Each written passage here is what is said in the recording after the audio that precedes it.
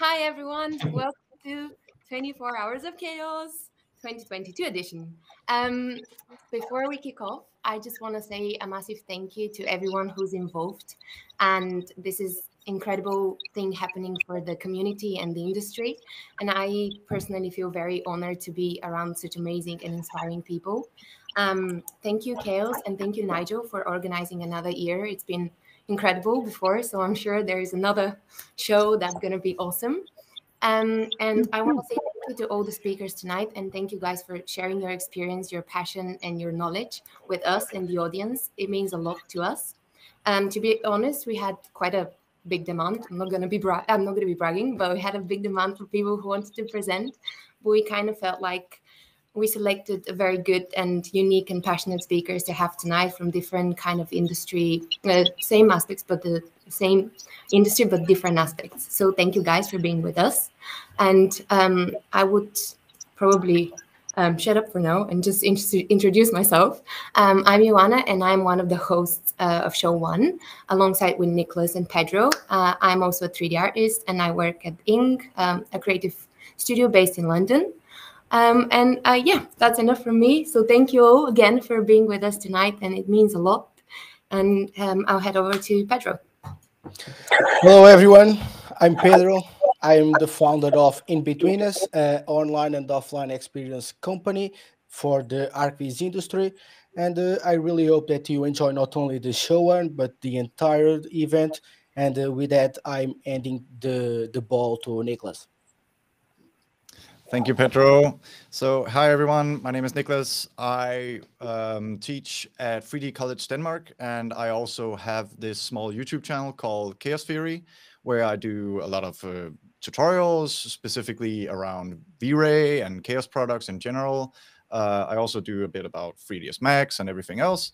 And yeah, I'm really excited to be here again. I was here with both Ioanna and Pedro last year on show one as well.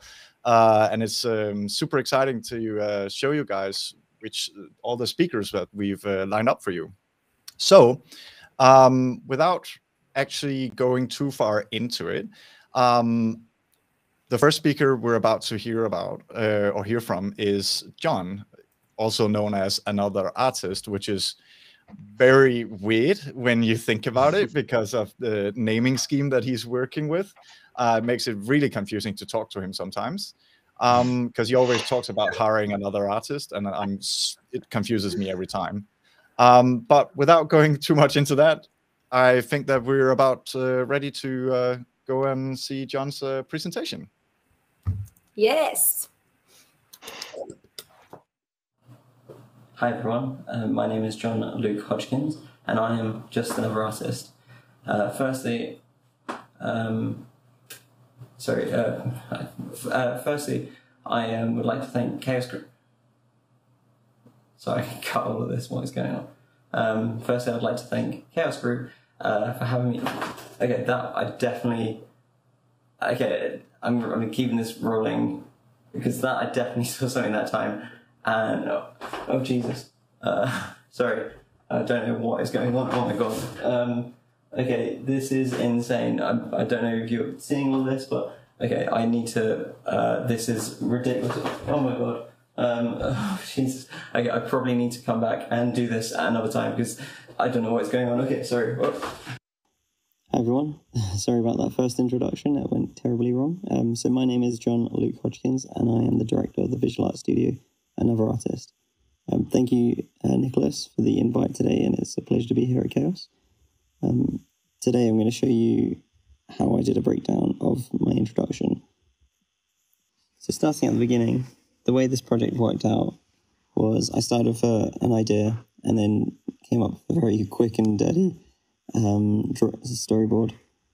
This was to give me an indication of timings and things I wanted to say and kind of actions where my head should move. It was very basic, but I did this whole project in two days, including the VFX breakdown. So was a bit of a rush, but um, yeah, I, I tried to smash it out. So I then got the camera equipment out and started filming on green screen, and then did a clay um, render of the space, and then eventually rendered it and commented it all together. So this is just a very quick breakdown of the layers that went into this project. And then I'm going to go into more detail as how each layer was kind of created. So starting off, I measured my office because when I do meetings, this is normally my background. So I wanted it to continue being my background within this presentation. So I went around, grabbed measurements of absolutely everything. Then I jumped straight into 3D and started modeling everything in just quite simple basic formats using blocks as my measuring um, kind of facility. I did not have the CAD drawing, so I had to model, model it all from scratch. And obviously, to do this as quick as possible, I just use some really basic techniques.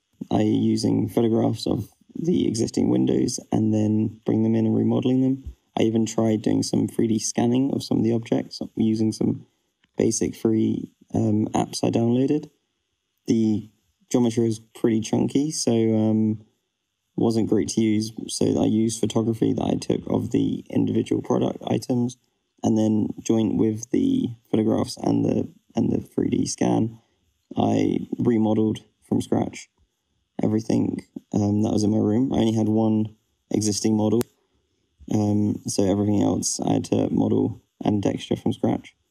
So here you can see me placing the items after they're modeled. So then moving on with lighting, I um, used uh, interactive light mix, which is a pretty awesome tool I use you know quite religiously within Corona. I was trying to match to the existing site. Luckily, it was all around me because I was sitting in the space at the time. So this is just a little Inception sort of um, view of me zooming into my desk. Obviously, in real life, I didn't turn on my LEDs. Uh, the next step was to make sure it was all camera tracked and matched properly. So looking at the heights of the cameras and the 3D cameras, and then putting them into 3D space and matching it. Here's a render versus photograph. Um, the next step to do a teaser I put a little camera in there, walked around in real time, and tried to match the exact camera movements. I didn't really have time to to track this camera, and then you know bring that data into uh, 3ds Max. So I did it as best as possible, adding a noise sort of um, modifier to the camera. Um, I did this originally and then rendered it, but I wasn't really happy with it because um, it wasn't as long as I hoped for it to be. I needed it slightly longer. Um, so the I so I redid it. Um, so I put a longer camera path in there, and then I used the new zoom tool on within my new iPhone, and I tried to replicate that again within 3D space. Um, it's a little bit janky, but I think it kind of kind of works. And then I did a video, and then added some headers, and then the um, the teaser was was complete. Now I had my 3D space, I needed to do some rehearsals and acting for the full 50 seconds talk over the video. So once I had set up my cameras and my green screen and you know got out all the, the equipment I needed, I then started filming. Um, I tried to do this in short period as, as possible. I managed to get my footage I needed. Um, not great, but not an actor. Then the next step was to realize that I had to redo it because my hair was messy because it's normally messy. So in order to green screen more simpler, I decided to go back and gel my hair and then redo it, um, and then start, you know, doing a basic rough roto of myself, and then putting it back into 3D space and making sure that you know it's all it's all lined up and the timings work with you know my head movements and, and objects moving around the next step was to animate everything. So all the objects I'd modeled from existing real life, I then went back into 3D and just did very, very quick and dirty animation, uh, camera constraint, path constraints, noise modifiers, you know, clone modifiers, just really simple keyframe of all the objects. It's more like the cheerleader effect. When you look at the individual objects, they're not very good, but when you look at them all together, you they look a little bit better. So I was going for that because I was obviously concerned that I didn't have much time to do this full um, project. But as you can see, there's quite a few resolved, you know, sort of objects and some that aren't so resolved.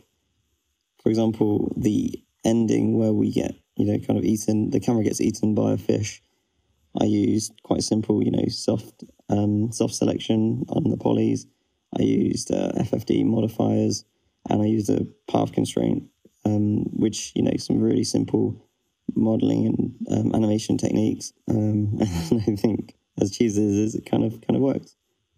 Uh, so here is the final um, play blast of the animation with everything kind of moving and uh, timed to kind of the way I set up.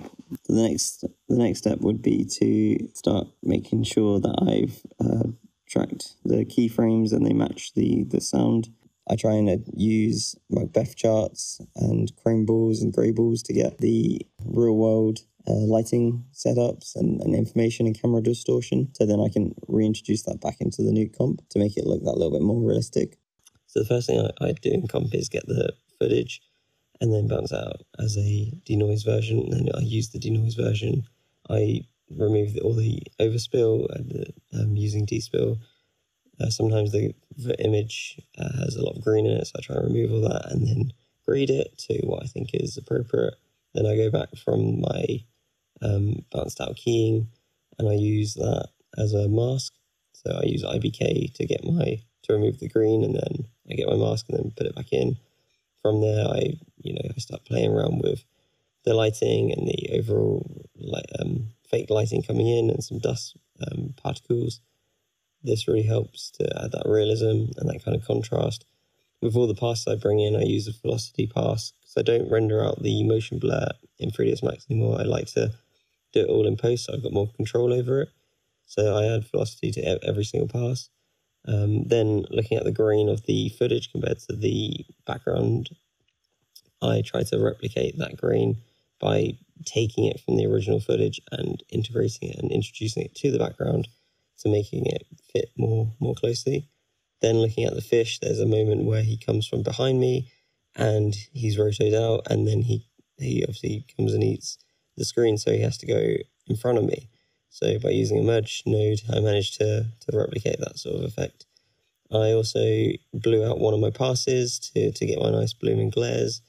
Um, and the blues bouncing off me and the pinks either side, I managed to do that as a screen over the top and it ended up looking, you know, kind of quite nice. I hope you've enjoyed this presentation and you've got something out of it. If you'd like to ask me about anything I've done or if you'd like to collaborate or work together, please email me hello at anotherartist.co. Um, my website is anotherartist.co or follow me on Instagram at anotherartist and artist has all the underscores. So thank you very much for watching and take care. Thank you. Bye bye. I'll clap again. Amazing. well done. Your room seems fine. Oh yeah, I put it back, to, back together just now, so it's fine. Ah, that was quick. Well done. Yeah. yeah. Just for this uh, presentation, huh? Yeah. well, All right, that was great, man. Um, Okay, I I actually want to kick off with a quick question because Go. um, there was one thing I was wondering, and why did you decide to model the whole room instead of just doing like matte objects uh, on top of whatever was there in in the shot?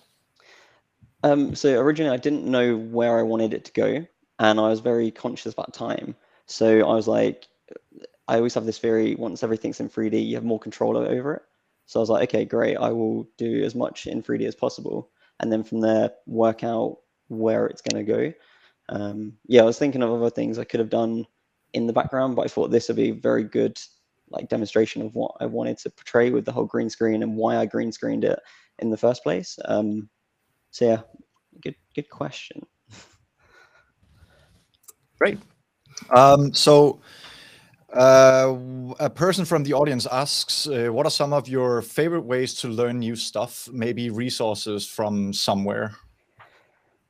Okay, uh, so I use obviously I'm always on Pinterest and uh, Instagram and stuff, so I always get like ideas and inspiration from them. Um, with learning new stuff specifically, I I like to have an idea first, and once I've got an idea, I feel like that's the hardest part of any process in terms of design or creating anything, because once you have that idea, then it's so much easier to try and create it or or develop some sort of pipeline to get to that sort of end result um, I, I find it quite difficult just to sit in front of like my screen and just create something without that initial like inspiration or like idea or dream, whatever it is, um, to like to get to that end goal. I can never just like sit there and do weird stuff. I always feel like there needs to be like a sketch or something I create first in order that leads down that path. All right, cool. Um, I think Robin has a question for you. Yeah, I have one. Um, which which part do you enjoy the most, or do you just enjoy being the overlord of everything? Overlord. uh, I mean, is it, is, is it the compositing part? Is it the 3D part, or you know, or is to it be just honest, whole, just everything? I think it's more the creativity part of it. Like knowing So, like, that we have these storyboarding and stuff. like knowing that we have these capabilities to create whatever we want that's what kind of gets me excited um, in terms of the software they they just they're super helpful to get us to that that point um, but i think for me i just love actually just being able to create something really weird and wonderful i don't know about wonderful but weird and and knowing that it's um, i don't know it just makes me kind of enjoy my job and life a little bit more Yeah. Cool. Are there any of the processes that you enjoy more than others? As in, do you do you find yourself wanting to stay within like the compositing phase more, or the uh, modeling phase, or or where do you like where where do you send when you create a project like this? yeah it's it's quite funny because it's always like the do you do it in 3d or do you do it in post? And i like i you know i, lo- I love doing both. Um i i like when things kind of work. Like say if you're doing something in 3d and then you can just kind of it, it just works whatever you're trying to do then that's kind of more enjoyable. But once you know you go into post post is always a little bit more difficult i find um but i like the challenge so it's like a, I feel like post production is a, a bit big of a like a learning like uh, learning curve. Um, so I guess the aspect once you do something in post, it feels great or whatever. I don't know. Um, but I, I do like originally I started off as a as a like a model and I got uh, I think I got pretty far because I was doing really detailed modeling. Um, and I used to love 3D modeling assets and and you know ended up getting pretty quick at doing that. So I would say back in the day that was my favorite thing to do but now I kind of just like being a generalist, um, and also pretty much everything now you can buy off like off the shelf. So uh, there's not much point for you know to be a, a really good modeler, you know, especially when it comes to ArchViz. Um, it gets a bit more complicated. I work a lot with artists, which always they always have bespoke like ideas and sculptural designs and products and stuff they want to put out there. So then that always pushes me a little bit to work out, you know, what tools to use to create their ideas. Um, so th- yeah th- so in terms of which which sort of aspect i just i don't know i, I like the whole pipeline of you know of, of the whole process Yeah. So more of the uh, the generalist approach to everything, and just you know can be able to deep dive into whatever. Um, that's kind of cool. So there's a question from Twitch actually: is uh, what throughout the process was the most difficult to match your vision? And my question on top of that: did you even have a clear vision? uh, um, to, to be honest because I was trying to like do it in a very like time constraint. I think that was probably it. It's one of those things. If I spent a little bit more uh, or a lot more time on it, it could have looked really well, pretty good. But because I tried to smash it out in a very short period of time, that was kind of my main downfall on this main project. Because like I was trying to do really simple techniques within the you know presentation anyway, just to you know because I needed to get through not just the 50 second uh, uh, animation, but I also needed to get through the actual breakdown of it as well, um, and not take up too much time. So yeah, I guess time constraint. And speaking of time constraint, um, did you have any issues regarding uh, rendering? How was the rendering process for you? Was it a long rendering process? Did you go with CPU versus GPU, etc.? So for this one, uh, the teaser I rendered just on my local computer, um, and that wasn't you know it wasn't too time um, time like uh, ba- basically when it came to the main animation, I outsourced it to a render farm. Um, I was like I you know I just want this done within the next few hours so I can start the comping process. Um, but I try and keep my scenes like pretty optimized, so I know that the renders are either going to be quite cheap to uh, render or quite quick. Um, so that that comes down to you know how you actually get into the the 3D and how you layers layers your um, how how you structure your layers and how you proxy all your materials and your your geometry um, to make sure that you do get the the fastest renders possible. Yeah. All right. Cool. So you just showed us some crazy VFX. Uh, why did you choose such an unusual approach to your presentation? And is that something you do often, or you uh, used to this occasion to escape from like your normal kind of work line of work? to be honest, to be honest, this is my normal type of work. Uh, we do, uh, we do like um, like some some TV adverts and stuff, which will revolve around the same sort of pipeline. Um, so instead of presenting a previous project we've done, I thought it'd be quite nice to do a unique project specifically for for chaos. And then obviously by doing that meant I can keep on top of um, the the actual background information and assets you know without without going deep like diving into a previous project and, and trying to look for stuff at least by doing this process meant i can create it as i'm creating the breakdown which kind of helped me create the breakdown quicker and give me kind of more material to, to edit. All right, cool. That was my question, but I'm glad you answered it. I can answer it again, exactly. no, it was great. It was great. I have another one actually, which is so you say this is your normal work. So what is actually your normal work? What can you introduce the studio a little bit and like what's your you know what what is the creative challenges you have during the day with your clients? What type of clients you get in and so on. I'd like to know that.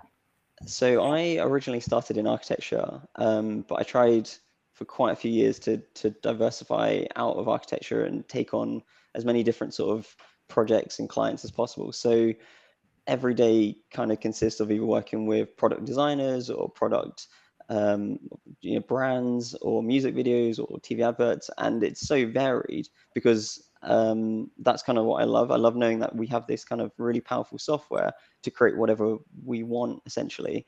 Um, so by limiting who I work with means I, would have to limit my projects. So by extending my, you know, vocabulary of, of uh, the type of work I create means I kind of attract different types of, you know, individuals um, and that for me is like the best place I want to be. So I, I like on my website now I have adverts, artists, architecture, and product.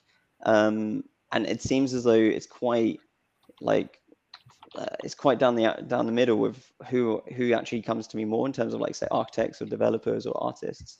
Um, and I'm just like privileged that I get to work with many different like incredible talented people um, and trying to like visualize their ideas and dreams um, and and every day is different. Like from working with crazy uh, brands like in the Middle East to say working with like Michael Jordan on personal sculptures to working with huge architects. It's it it massively varies, literally week to week.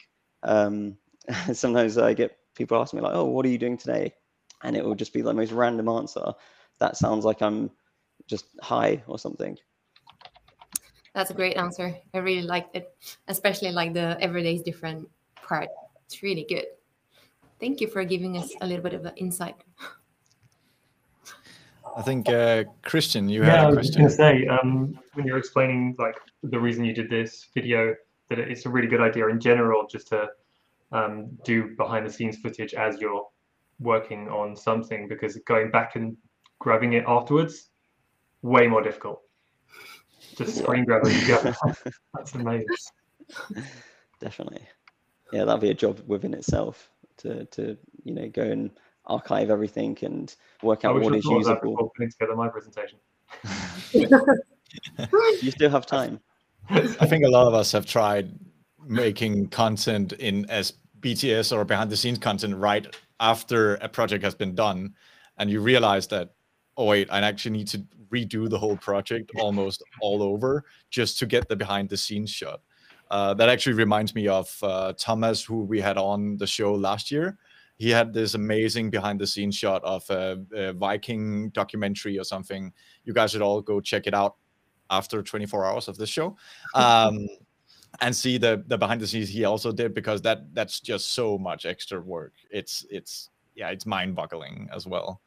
Um, but yeah, thank you so much, John. It was an awesome presentation and yeah. an insight into your very weird mindset. Um, we love it. Welcome. Love it. yeah, I think thank you so much. Pedro. yeah, it's me. And I I'm doing well and hope everyone that they are watching us on YouTube, Twitch, and Facebook Live are uh, enjoying. But now we are going to have an Italian guy that lives and works in Spain and uh, and is the founder of the award-winning uh, ArchViz studio Aesthetica. Hello, Andrea. Hi, everybody. Hello. Hello. Hello. So Hello. we we will need to have a couple time to have uh, everything sorted. But uh, if you have any questions for Andrea presentation, keep writing them. You are reading them on every single platform that you are watching us. So feel free to do it. Don't be scared. We will try to answer everyone. So thank you. So I don't know if we have the team ready behind to share. Yeah, it's on. Hello everybody, my name is Andrea Baresi and I'm the founder of Aesthetica Studio, a rendering company based in uh, Barcelona. It is a great pleasure to be here uh, with you today to share my experience and have the possibility to uh, present our work to this big community. So a special thanks to Chaos uh, for organizing uh, this event and for taking us into consideration um, it is really, really, really a great honor for, uh, for me and for uh, my small studio to be part of this show. So maybe of you, some of you uh, have already heard of us. Um, we've been already almost five years in, the, in this industry and um, and this year we got the CG award for the best commissioned image for this project by Snohetta, which is a, an architectural firm based in Oslo, in Norway which designed this fantastic platform uh, in a fjord, in the middle of a fjord in Norway. So the project was already beautiful and did half of, more than half of the job, but it was really fantastic to work on this uh, project and uh, and uh, but what is interesting is that this image is the result of a, of a long, long and continuous process of research, and mostly uh, some a kind of a state of mind that we have here in Aesthetica. And today I would like to show you some of the principles that led us to this image. So before, before that, so how have we ended up there? Like uh, how did we get to that image? It's, I don't really want to do like a, a, a once upon a time presentation when I was a kid and making drawings, but I just want to give you a, a little bit of background of where I'm coming from and uh, how do I think how do I consider architectural visualization? So I started to work as a 3D artist at 3XN in Copenhagen, in Denmark. Uh, I was an internal 3D artist and uh, I really had this struggle of uh, uh delivering the work that I was asked to do on the day-to-day -day basis by the different architects team, so a lot of pressure.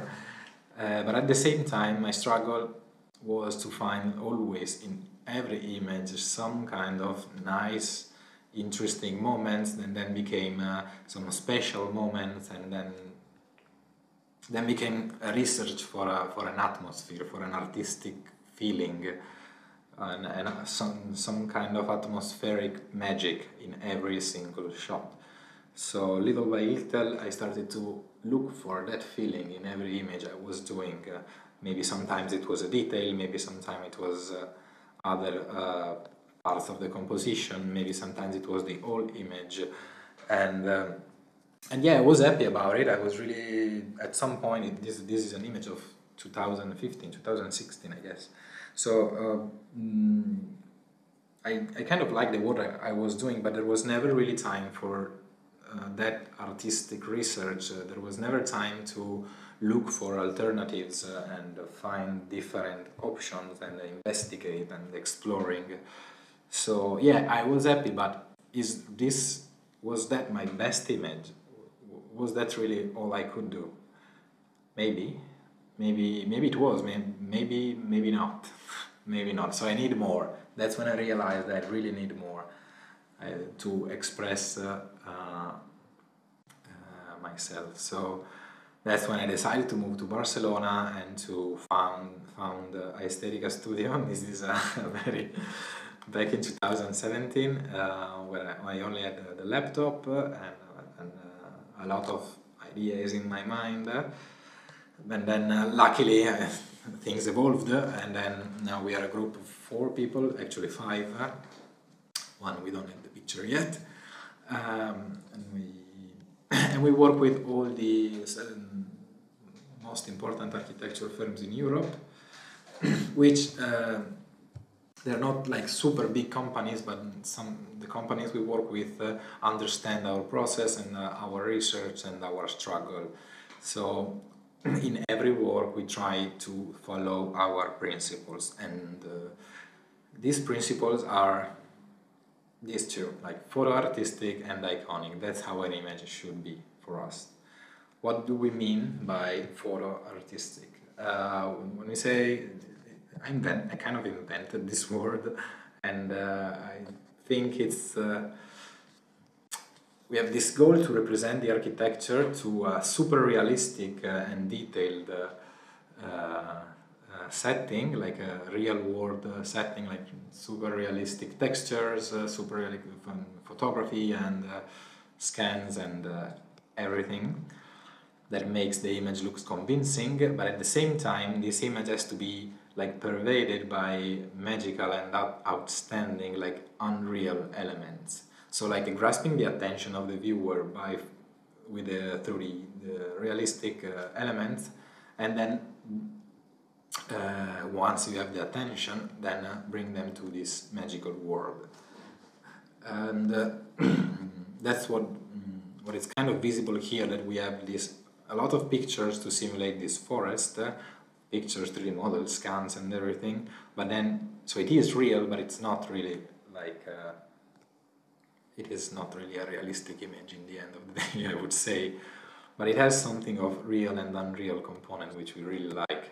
And also in, uh, in uh, for example, here, yes, there are some human and recognizable elements, but in the end, the atmosphere, there's something that is kind of uh, this atmosphere that makes it feel like uh, it doesn't really exist. So yeah, this is another uh, uh, another shot with this this intent of putting like realistic element and unrealistic atmospheres. And on the other side, we always try to go for iconic shots. So there are some shots that are immediately recognizable by the viewer. So we usually do these tiny drafts uh, to check if this uh, image is working in terms of lighting, composition, and colors. Uh, or when an image is iconic, when it's super recognizable, when it represents an idea, like in this case it was like the it was the uh, a museum in the forest, uh, so there was this forest of columns, and this was the, really the concept of the of this project. So the iconic image had to represent this project without showing everything; it just had to show the important thing. Anyway, it was this project actually, yeah. And uh, yeah, iconic when it evokes a feeling, of course. So every time we try to evoke some feeling, uh, like in uh, this, uh, this is the platform project by Snøhetta, and uh, we were following this feeling of this uh, late, uh, late, late summer, end of the day, low sun, a bit melancholic, when everything is about to end, the day is about to end the summer is about to end. So we always like to uh, get away with the images that we work on. And then, of course, the story. Why don't you tell me a story? We're always asked to tell a story from the client. So, but we, our research is more like into translating this story into something a bit more subtle and to suggest uh, unexpected situations. Like if you have an atrium view of a school uh, then maybe it's a big mess uh, and it can be like in this case with the paper flying uh, like paper planes flying um, it was really a, an, a, a fun fun view to work on. And I remember the jury here eventually they won the competition uh, reminded this image as the paper planes once. So it's also important to get the right story and make it recognizable. In this case, the story was the match of uh, super uh, difficult. This was this image was extremely difficult because we really wanted to tell a story of the new stadium, from the mm, from the level of the of the field, uh, but so we had to find the right story, the right picture of the right team with the right lighting. So it was a lot of struggle in finding uh, the high resolution picture with the perfect lighting. But that was the result, and it's quite quite powerful. And also in this case, the story was important because it was the story of a representation, like a in a in a theater. It was a project in Norway always by Snohetta, this black box theater, uh, and the jury uh, was also the theater company, so we placed in the middle of the image uh, a performance of the theater company that was in the jury. so it was kind of blinking the eye, say, okay, guys, we know you. So yes, the story is super important. But what I wanted to say with this presentation is that we never settled and that's what I think is the most important thing for this job. Like you always have to consider that the, your next image is the best one, and never, never, never look back and be happy with what you've done. Yes, you can be happy, but you also need some push to continue walking forward. So how do we get to the best image if the best image is the next one? Well, with sketches probably we do so many so many sketches and I would like to share with you a few examples today just to uh, to kind of communicate our struggle every time we start a project. So you remember this image from before and uh, the chair is falling apart. Um, yeah this image it was the, the museum the museum in the forest. So before how did we get there? Well this was the first draft uh, kind of flat uh, we didn't really understand what was going on and nothing was happening uh, and, but there was probably some kind of uh, something interesting. Then started to go around and see okay but this is a forest of column but maybe maybe maybe from inside could be nice. Uh, they didn't have it and usually architects when they come to us don't have any idea of what they want so we really go, have to go around and propose alternatives. Uh, like this one is where we started to say, okay, but this this this transition with columns can be a good starting point, but it was a bit flat. So maybe maybe with some fog, maybe with some more atmosphere, maybe it could work. But we got kind of got that this forest of columns had to be portrayed uh, like in this way. So we said, ah, okay, maybe the light in a forest usually filters through the trees, so this this could be really a, good one. But maybe it's, a, it's maybe it has to be brighter, so with more light coming in, and then finally we got there. So yeah, from here, then little by little you can see that this struggle continues until like we sketch, we sketch, we sketch until we find the, the right one, which eventually turns to to the final. Uh, to the final image. And uh, yeah, I also wanted to share with you just for a second the draft that we did for this project, just to show you our research. We had to do just the two images, and eventually that turned out with five or six. Uh, so we always do this study, preparing all the 3D file for the draft, uh, explaining every draft uh, that we do, why we do it, because there is really like uh, an artistic uh, artistic uh, struggle and research behind every single shot. So it takes a lot of time and a lot of effort. We end up super tired every time. But in uh, uh, every every image, there is always like there is always an, an intention of showing the project in a completely different way. This was the draft, of course, of the of the image of the CG award and uh, trying to cap capture different atmospheres every time with photos, with 3D, there's no, no distinction. So yes, this is uh, more focusing on the building, uh, going around, uh, uh, some close-up, uh, going far away, with different alternatives of lightning uh, atmospheres, uh, then that leads to different stories as well. So uh, yes, I don't know how many. There are so many. this was the fjord one. This was the one that eventually became that one. Then this one was kind of the guy running the getaway in between uh, this uh, curved wall. Uh, then another round of drafts. So as you can see, we really uh, we're never happy with what we do. So and this forces us to continue and to continue and to find different uh, options and angles until we, until we find uh, the one that we really like.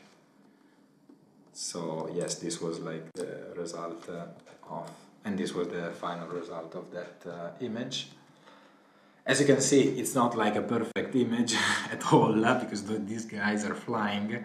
Nobody realized in the in the CG architect uh, jury, or maybe they did. I don't know.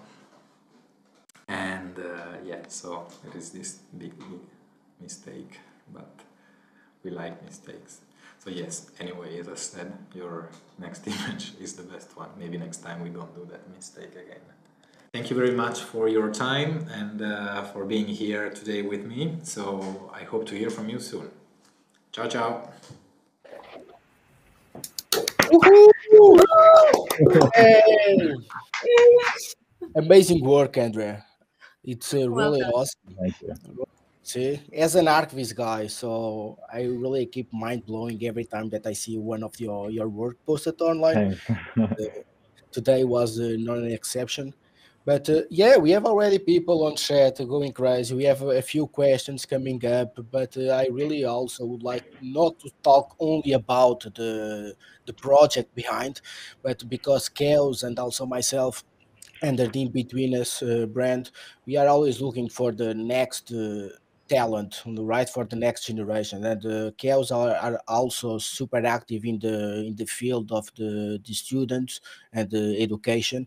And i really would like to see if you have any word that you can share for those that are starting their careers right? Because you move from mm-hmm. italy Copenhagen to Copenhagen to Barcelona. So you really did a lot before you you founded and started your own studio. It's possible to give something for those that are really starting or want to shift a career like you did previously. Yeah, well, uh, quite a uh, nice nice question, but I think uh, what I would try to um, what I su would suggest to the, to the people to the new artists coming in and exploring the industry is mainly try to understand who you are and who who you who you want to be. I mean, although this industry uh, might seem quite standardized, I'm talking about the ArchViz industry. Um, so and might look similar from outside, but if you get a, a, a if you give a closer look, uh, you can see that there is like a wide variety of fields and uh, and um, and all the rendering studio, the ArchViz rendering studio are all different. Like, for example, in uh, in uh, in Barcelona, there we have a super nice community with many many rendering ArchViz uh, rendering studios. And uh, but what is nice is that that everybody does his own uh, thing. Like uh, there is there are some some people that run their own studio doing real estate, some other Unreal Engine, VR, some other interior architecture, some other commission the project. We do uh, international competition with mainly Scandinavian offices. So some other doing product design uh, or more commercial projects. So there are always like niches where you can mm, kind of focus uh, your uh, your work, your efforts. So this is, I think, this is key to when you start uh, your own path to understand like like who you are and like where you want to focus uh, your your work and basically set a goal, set a goal, and uh, and uh, to set kind of a, a plan. In uh, with this presentation, I wanted to share a bit my experience in terms like because I before doing this, I was working as a internal render guy, like pizza guy in a, in, a, in a big architecture firm in Copenhagen as an in-house render guy. So um, that's also a way to do this this work. So you work in a close to close to the architects. Uh, there are so many positive uh, aspects of this job uh, because you work with a talented architects right sitting right next to you. You get to know them. You learn a lot of stuff. Uh, you, you you really like develop a powerful speed to solve problems as fast as possible. So you develop like so you develop like problem solving skills uh, alone, and uh, you do get to do some uh, networking with the architects.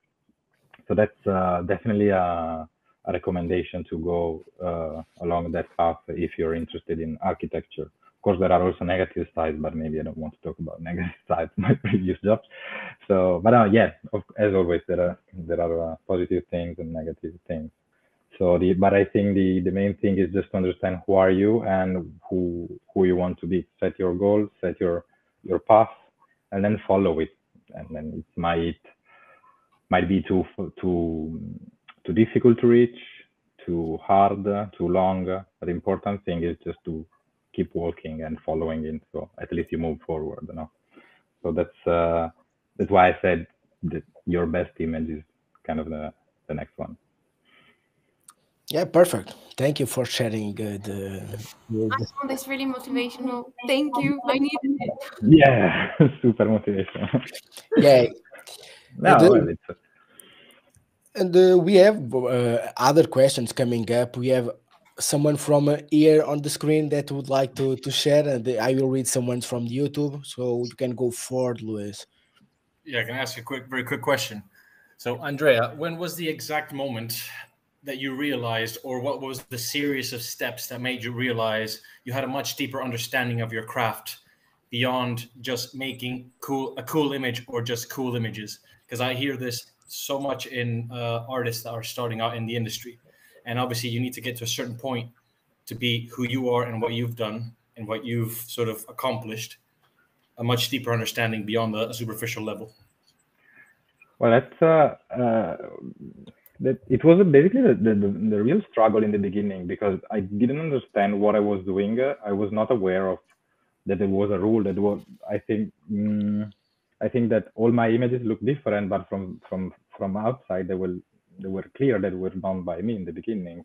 And this is something that, that I realized when I started to grow a team. Like when the mm, when the new people came in uh, to join Aesthetica when I was alone, um, and I had to uh, kind of abstract what I was I what I was doing to explain it to them. That was the moment that I kind of realized, okay, but there is I always do the same thing, and and it's uh, and that's why it comes out like that.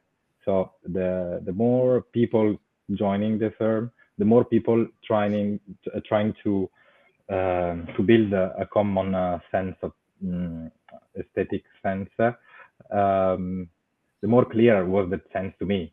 And maybe when I was alone, I, I didn't really realize that. But then when other people wanted to do uh, like uh, wanted to learn first and then develop further after afterwards this uh, style of images then i realized okay but then there is something there. Oh, that's awesome. Yeah. Sorry. Go ahead. No, no. keep, uh, keep Did I? Did I? Uh, is this a? Did I ever reply to the question? Yeah, I think so. It's it's interesting that that, moment in time for you was uh, when you were when you had to pass on information to a next generation. So you you you start as a professional, you develop, you get some skills, you achieve something, and then at some point in time, something is born inside you and then when you realize you need to level yourself up in terms of communication and how you actually communicate with other people and transpose or, or i guess um, transmit that sort of information that's when you start to have a, a deeper understanding of what your craft is. Because you, you have to you're forced to strategize a little bit more. So it's, it's, it's amazing to to hear that. that's uh, that's uh, exactly that. And uh, it happened after a couple of years. Like the first year, I was alone, so that I was not uh, uh, I was not aware of, of uh, that this existed. but then after two years, when I had to hire somebody to to help me out and to grow and to continue the path, um, that's that's the moment when it came like kind of more uh, more clear. Yeah, perfect. So, we have uh, another two questions, but I believe we can make it together and ask as one. Um, how how do you get on how you get clients uh, on board with the, the render that is more artistic uh, like you mentioned on your presentation, photo artistic, right? And instead of an informative of the architecture, and uh, any advice how to use all the colors that you really use in your imagery that uh, are really outstanding and pop up to the eye to the public? Uh, well, regarding the clients, uh, I think it's more about mm, mm, as, has been said before, it's also choosing who you work with. Uh, so there is a, mm, a bit of a, a, filter. Of course, we get also annoying clients, uh, and it's part of the. Sometimes it's sometimes sometimes well, sometimes it's also a job. It's, it's work. So we all get uh, boring clients, boring images, and uh, requests uh, do this, do that, do this. But uh, we try to avoid that with the time, and we know the we try to like the clients that come to us know already that we get we have uh, this process, uh, and with this process we try to kind of surprise them first with the quantity as, as, as it was in the presentation with 3000 drafts, but also like we always tend to prefer to work with clients that don't tell us what to do. Like there's Snøhetta project, the one of the CG award. They, I remember they came uh, with two images. They wanted two images. They don't know. Uh, there's Snøhetta never knows which images do they want. So they're like, uh, okay, this is a project. We need two images. Just surprise. So and that's the best way to to work. And we try to work as much as possible with clients like that because you cannot convince uh, a rock that to be uh, a tree. so, yeah. So it's, so it's uh, yeah, completely agree. And uh, the another question, and I really think this is something that you mentioned previously. That is uh, Barcelona, where you are based in your studio.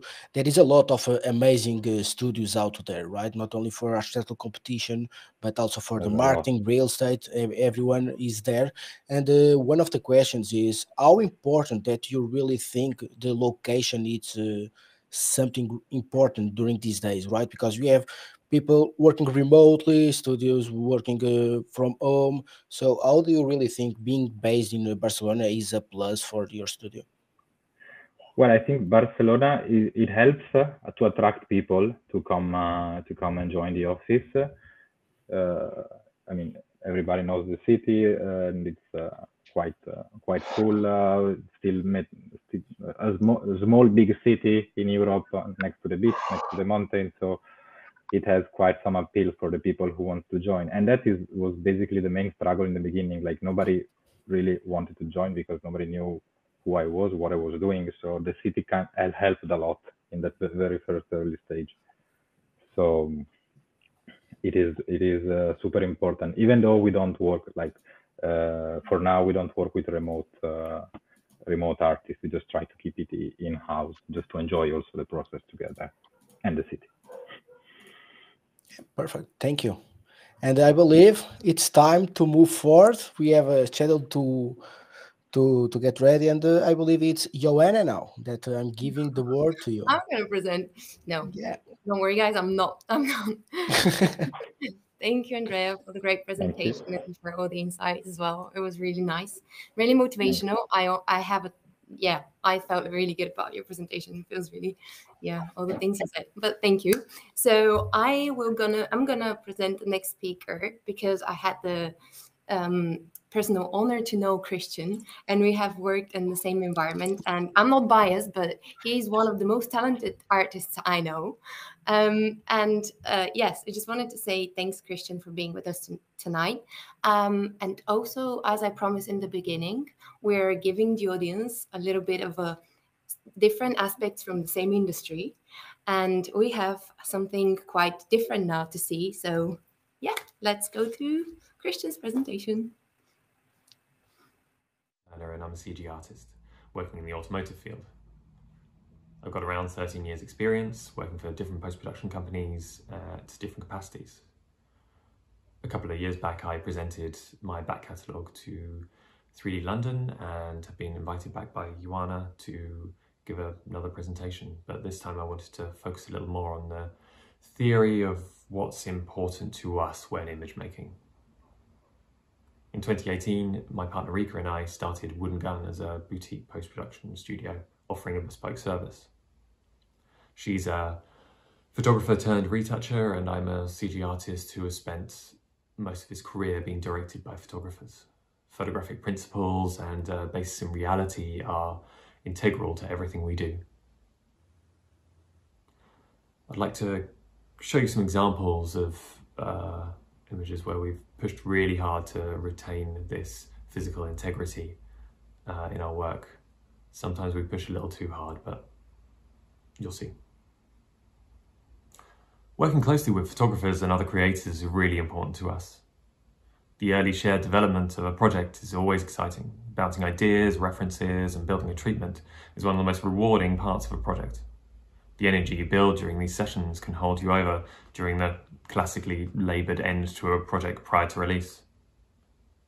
With each project we have done with Tilo Sikkeneder, we have pushed things technically and visually further. Starting fairly straightforward with the Volvo XC40, we got to know each other and how to operate together. When he said he was shooting in LA and planning on capturing backplates and domes on Lower Grand, we saw it as an opportunity not to be missed. The location has been used so many times before, so really needed to stand out. So we chose a bright yellow Lamborghini to stand out. In my personal work, I've been playing with mimicking tracking shots, where the camera follows the movement of the subject but stays in the same position as opposed to being on a dolly or rigged to the car. For me, this gives a more voyeuristic look to the shot and makes the viewer feel like they're firmly at the location. This is easier to do in a full CGI environment, as everything has the correct scale and distance, so parallaxes accurately. When using a single frame, some cheating needs to be done. In this case, cameras were matched and rough geometry modelled to project the backplate onto. An animated camera then renders the scene with motion blur.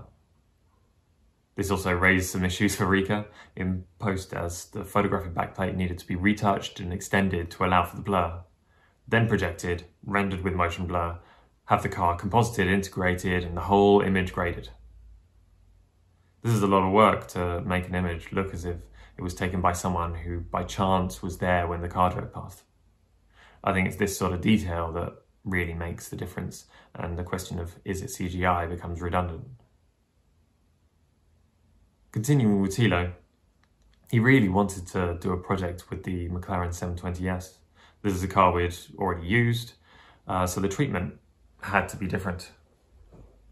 Being slightly obsessive about perspective, I noticed that within the bank of images Tilo had shot at night on a German bridge, many of the roads lined up perpendicularly to one another. From this, the double exposure treatment was born.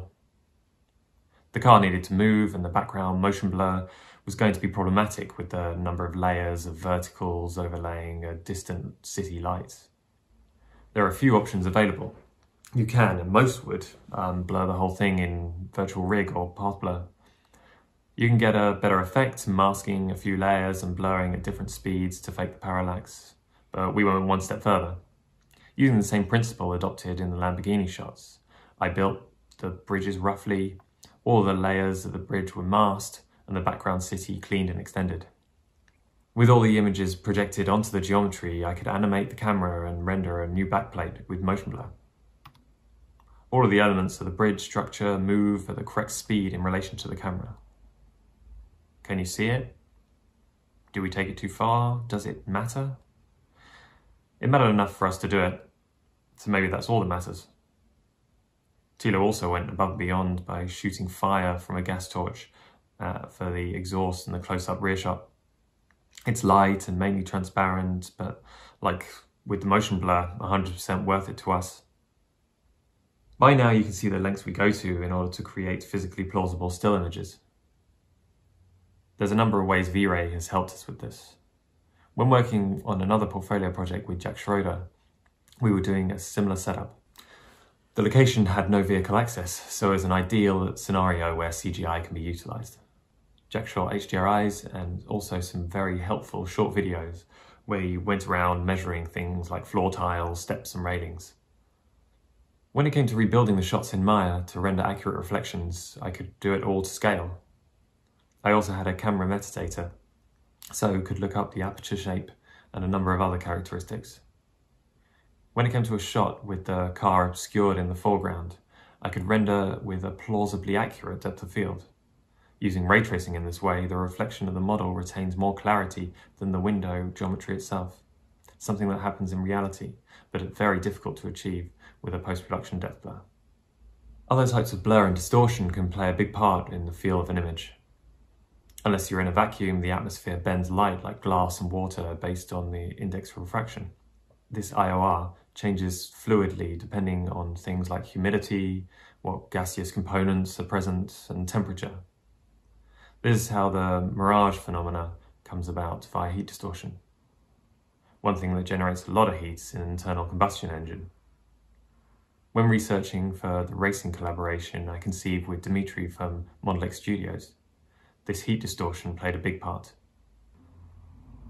It's another visual cue that leads the viewer to engage in a synesthetic experience, to be able to smell the fumes, hear the engine, and feel the heat given off, all through seeing a picture.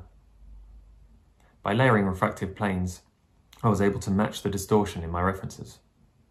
This image contains tracked motion blur, depth of field, heat distortion, environment volume, bloom and glare, and is graded to match a specific film. Of course, all this process creates a particular look that is not relevant to the majority of product shots. The motivation to keep things accurate does remain, with cameras, framing and lighting. Even when moving around huge yellow light panels, like in the images we made for the launch of the Lotus Eletre. These are not new tools, but there are a few I'd like to mention that I'm excited about as they can make my life easier in the future. Being around as long as I have, you get to see and experience a lot of different tools. VRED or VRED, usually used on power walls or VR to display design changes during the development of a vehicle, is a program I've used on live projects to create high resolution print imagery. It had a great environment dome, with a lot more functionality than that of Mental Ray's RBL or V-Ray's Dome Light, as it could be moved and keyframed. It's a step between the infinite point and my projecting onto geometry method, making it very versatile. I'm happy to hear a similar HDR Dome Light has been released in the latest version of V-Ray. Another interesting new development is having a procedural cloud model. I tested Vue and Ozone some years ago with mixed but slow results, but uh, the potential of being able to build skies is very powerful. In testing, it's very much in its infancy, but it has the potential of reducing our reliance on HDRIs in many cases. Over the last few versions of V-Ray, the frame buffer has become a more usable grading tool. With live interaction sessions, we can push the look of an image at a very early stage and get a solid idea of direction and buy-in from client without touching Photoshop. On top of these, there are new technical tools to help with full CGI productions. Chaos Scatter, V-Ray Enmesh, everything coming into Phoenix, there's a huge amount to look forward to. Looking at the work we've done, there's been a lot of progress, both technically and creatively, adapting tools towards our goals of creating not just convincing, but creatively inspiring CGI imagery there's countless areas still to explore and hopefully another time I'll be able to show you what we have in mind. Thank you very much.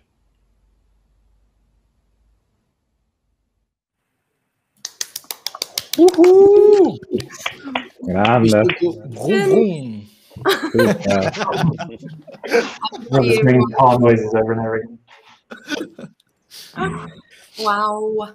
Thank you so much for sharing all this with us. It's quite amazing. I mean, I've witnessed your magic, but it's just still amazing every time I see your work. Um, I've got a question. Um, why cars? I mean, obviously you're a very complete CGI artist and you're focusing on automotive. Why? I don't know. I've always um, been interested, not so much. I mean, I, I said this at the, the last presentation I gave that I'm not that interested in like car performance or any of like technical numbers of them, but I've been kind of obsessed with car design since like this big. So it matters to me more how they look and how they make you feel in their presence than actually how fast they are. That matters less to me. But it's always been something that's kind of in my mind. So to find a route there, which I found, yeah, it, my uh, first job in automotive kind of almost came by accident, um, and then I stuck with it because it was fun. I see. Yeah, well, you just found your passion, I guess. it just fitted in with my passion. I think it was that's the, the luck of it. You can find um, something you like doing on a daily basis and get paid for it. That's a, a Yeah, win-win. I agree.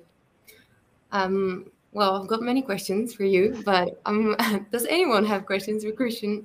Because I see all the guys are very excited about the presentation. Well, it kind of leads into the question I kind of prepared for Kristian because you already kind of answered it. But so, how did you get into the automotive visualization business? Did you, so? I figured you aimed specifically to get into it. Um, if I understood your uh, your answer correctly before, but how how would anyone go to get into that business since it's a pretty niche field of work? Um, I'm not sure actually how niche it is. There's a number of um, quite big studios who um, perform this work on a regular basis. I was just lucky enough that at the time when I found myself unemployed um, after working for some ArchViz companies for a bit, and this was around the um, the downturn in 2008 where master plans were kind of going to hell. Um, we uh, I called one of my friends who I went to university with, and he was just in the middle of starting up a, a company with another photographer and joining up with another company who mainly did car stuff. Um, so I just slotted in, and everything went really, really well. And I was there for almost a decade. Cool. There is a question. No, first of all, there is a comment that I actually noticed as well, and it's really interesting. Kristian does beautiful work. Even his bookshelf is organized by color for a very nice aesthetic. Nice. You So seem this, very. is, uh, this is not from me. This is from Rika, who's the post-production part of Wooden Gun. I see. Was um, absolutely color obsessive. Yeah, we can see that, but it's very nice. Um, is there any car you'd like to render that you haven't worked on or haven't done yet?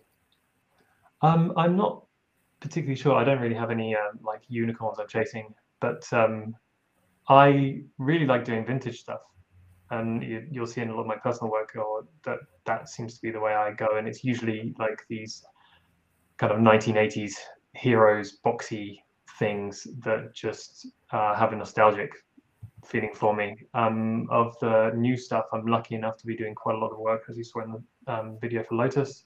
Um, but there's a few other kind of startups and concepts that we've been working with, um, some of which I hope to show you in the near future, but currently not allowed to. Ioanna. okay. that actually leads me into a little bit of a thing here. So if you if you're really into like vintage cars or more into vintage cars in general than maybe the more modern stuff, um, but since the world seems to go in a more vintage or retro kind of design aspect, how do you feel about that? Is it do you feel like in general that they're nailing it, or is it too much, or or how do you feel about all those aesthetics right now? It depends because um, I mean to keep there there was a period where everything just starts looking the same. If they're going for future future future and everyone's just saying uh, this is what future means. This particular like negative scallop and the side cars and that sort of thing um, seems to have come around and gone again. And people are now looking into like their back catalogs of designs. You've seen it with like the renault 5 remake and what they're doing with um, the you know Fiat 500 makes and all, all this stuff, it's going to reoccur because they've already decided that that's their identity. And if that kind of sparks a, some passion from their buyers, then they'll roll with it, I assume. But um, I just make the pictures, I don't design the cars. I'm, I'm an outsider in that area. Makes sense. Yeah. Um, we have another question from the audience. What does Kristian want to learn next? I'm sorry I read it like that, but what do you want to do next?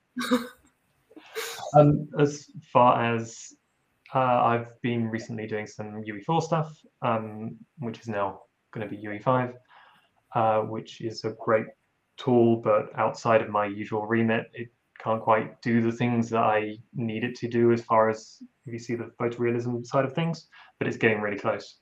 Um, and on the side of that, there's a whole world of stuff. I really need to get into Nuke, um, and I keep putting it off and putting it off, but I don't Why? quite have the capacity. That and um, Houdini would be um, are on the checklist of things, but you need to really deep dive into these things to get the knowledge to stick at this point.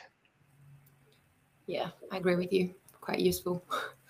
Um, well, I have another question of myself, but if you guys want to jump in, I have a source of questions in my head. Where do you, how do you find your creativity? Where is it coming from? How do you inspire yourself and all those ideas and all those stuff? Is it like films? Because mo- most of your stuff, for me, they look very cinematic. And is it coming from that, or is where is it coming from, inspiration wise? I think the cinematic side of things is basically trying to keep things in uh, an area that m- makes you feel like you have been the one to take that picture. That it forces you to be in that place, following that object with a certain lust for that thing, or um, yeah, it goes back to the synesthesia side of things. Um, but I find um, I've given this spiel before as well uh, about creativity being um, that as a creative, you're not forming something from zero. It doesn't just come out of thin air. It comes from a, a back catalogue of what all your experiences throughout your life, be it touch, smell, see, dream. Um, and the creative part of it is bolting those different things into a certain, um, be it a visual, be it a song, be it, I, I, I just kind of believe that your personal experiences just become those things, whether it is from you just absorbing content from YouTube or whether it is uh, you being outside next to a river and imagining swimming or something. But it, it can be kind of that's theoretical. Um, and then, yeah, the creative side of it is basically being able to cherry pick the useful things of that and then respond to a brief using those things. Yeah. And that's kind of my thought. And this does kind of lead, lead into AI as well, but uh, we'll, we can leave that for yeah. Um, so, what do you look for when studying references and backplates in order to match realistic lighting and imperfections? Um, realistic lighting is kind of um, uh, I, it's quite e- I wouldn't say easy, but um, if you're using HDRs and backplates, generally they're shot in the same place. You just got to make sure they're color graded to the same thing. So if you've got because you're if you're shooting a, a photo, you are then treating that and white balancing it to whatever it is that you decide to be. So your sky is a certain blue, your uh, sunlight feels warm or cool depending on how you've treated that in your post production. But in order to get something to sit in it, your HDR has to look the same. So the HDR has been shot 360 image, also has to have the same color blue sky so that when you see it reflected or lighting the car, it's got to represent that same blue as the sky. And that's an instant, like this doesn't look right because it's the wrong color. So that can, comes up quite quickly. And then it's just getting shadow density to match your reference within that image. And there, there's all these sorts of things that you've got to kind of keep in mind. Um, it took me so so long to be able to analyze an image and pick out what was actually truly wrong with it. You can tell something's wrong but then being able to go this is why it's wrong is far Yeah. more difficult than um, being able to tell someone that they're wrong. And you'll kind of get this from uh, well i get it from client feedback quite a lot is that "Oh, it just doesn't look right. I don't know why. It just doesn't look right. Yeah, yeah. it's usually these kind of little nuanced things that are not like self-explanatory uh, but there are certain aspects of this that do happen in nature and do happen in normal photography. You do get sometimes uh, a big bounce of a different color light flying into whatever it is you're trying to shoot. Um, and it doesn't make sense within that frame until you like move over there. You're like, ah, so that big yellow wall is casting that. Um, so there's just this these sort of things. But if you're not telling that story that that yellow wall is there, you've got to make sure that it's explained within that image. Otherwise, it feels wrong. And then there's just lots of things like this. Yeah, I agree with everything you said, especially for the pointing the. No, but I guess that's experience, you know, when you can't really point what's wrong with the image, but with experience and learning kind of from what you've done through the years, you kind of guess, you, you know, you, you kind of know your work and you know what, you know, what's wrong with it at some point. It's never perfect. It, Oh, there's yeah. still stuff that I'm ripping apart all the time. It's like I wish I had more time to do that, or I wish I had time away from that and gone back to it and then looked at it again, and then oh, now I can see that this is wrong with it. Um, whereas I thought it was perfect, but it's not. Yeah. But there's always this kind of rest time in between projects as well that you go back and think, oh, I could have done that better, I could have done that better, or I wish Yeah. I'd spotted that before it went public. well, that's what um Andrea's presentation was as well. Like you're Exactly. like, yeah. Um, does anyone I have have, a- any questions? Oh, I have yeah. a quick question. Yeah. So when you're out and uh, I didn't really catch did you when you're doing the backplates and HDR and stuff like that. So you you're out with the client or on your own prepping for a shot with a, an actual camera, right? Occasionally, yes. Okay. Okay. yeah, Um, sure. but, but you, So, but how do you- work in collaboration. But yeah, cool. Yeah, but how would you uh how do you capture your HDRs? Do you use specific products specifically for HDR capturing? Or Um, because like there's um, so many yeah. different options. Yeah. Yeah, for sure. Um, I mean, the easiest ones are like um, John was using the is it the Ricoh 360 camera, and um, but to get because we're working with like super highly reflective objects, we need a lot of resolution to make sure that all the um, stretch reflections come out nice and cleanly. Um, I'm using a, a nodal head, which is essentially sticks on the top of the tripod and holds the camera pointing in one direction and pivots around the center of the lens. And then you turn it into multiple angles and take bracketed photos, however many stops up, however many stops down, and then the whole thing stitched into a 360. So this is a fairly um, economic setup. You, you need a DSLR and um, you pay the money for the nodal head if you've already got a tripod.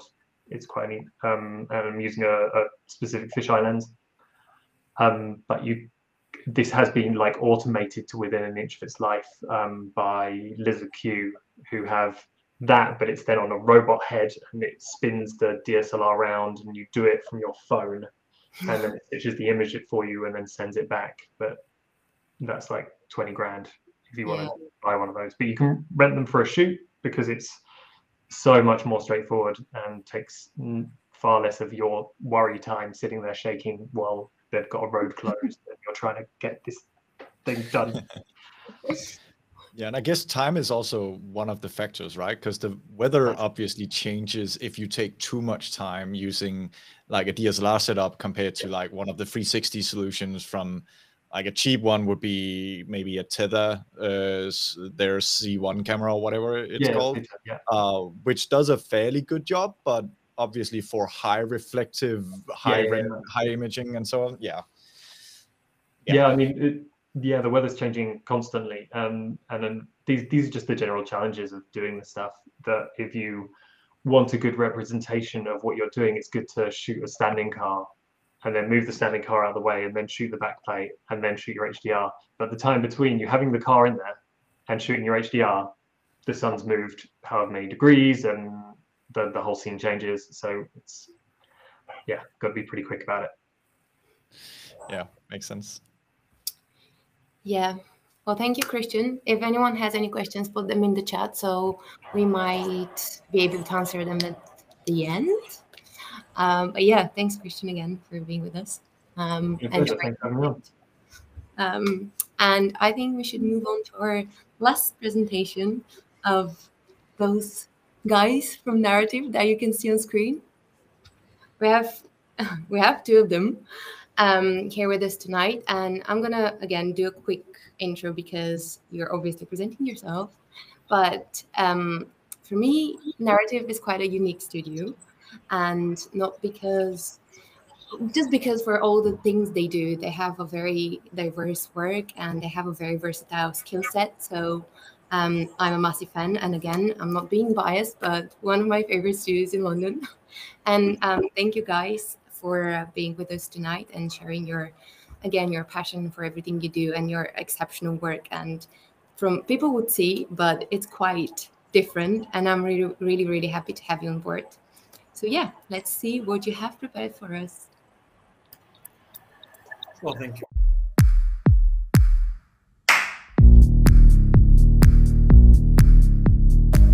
My name is Luis Inciarte, and I am the founder and co-director of Narrativ.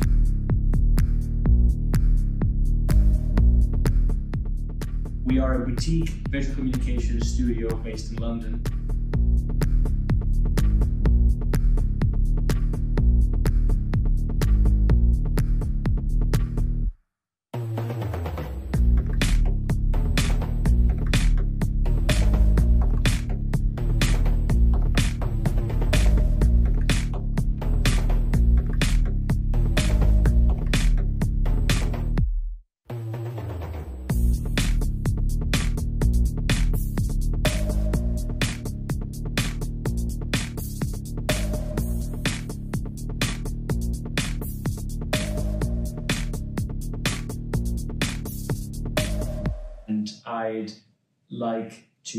Introduce our talk this year. We've called it Entering the Unknown.